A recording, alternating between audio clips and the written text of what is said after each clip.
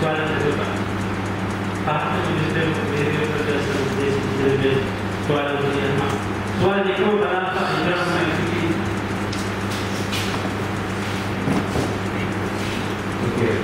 question is, can we use magic organizers